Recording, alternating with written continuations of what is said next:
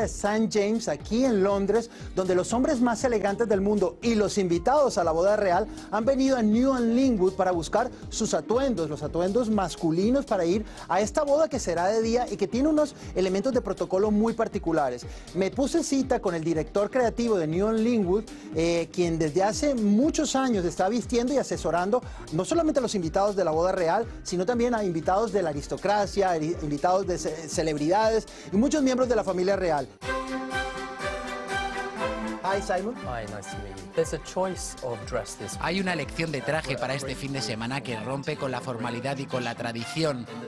En este caso, el traje de mañana sería lo más correcto para llevar. Ha sido ofrecido como alternativa al traje de día. Hablemos de él, si te parece.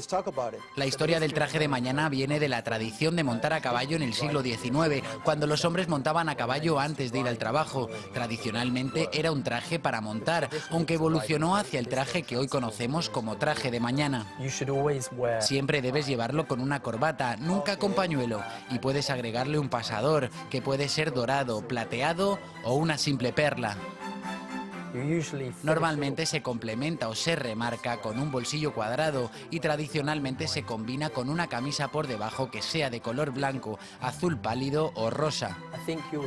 Creo que veremos tres tipos de trajes en la boda. El príncipe Harry llevará seguramente un uniforme militar, los asistentes más mayores o los invitados con títulos nobiliarios, los duques, varones condes, marqueses llevarán el traje de mañana y respecto al resto de invitados ellos deberán elegir cuáles de estos dos trajes deciden llevar.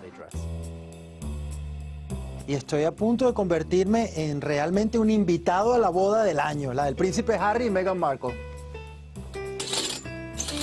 Bueno, ya estoy, ya me siento como todo un invitado para la boda real.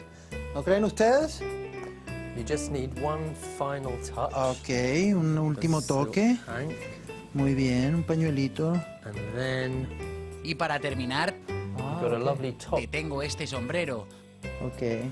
¿Así? ¿Está bien? Ahora sí, ya estás ah, listo. Perfecto, bueno, pues ya me siento listo para la boda. Simon, gracias por todo, eres muy amable, me ha encantado estar aquí. Y bueno, nos vemos pronto, bye. Lucho. Oye, Lucho, todavía no pagaste cuando empezaron las audiciones, de cuando los plebes empezaron a, escoger a alguien, ajá, y mi mamá me la puso para que me fuera bien. ¿Te imaginaste algún día formar parte de los plebes de rancho?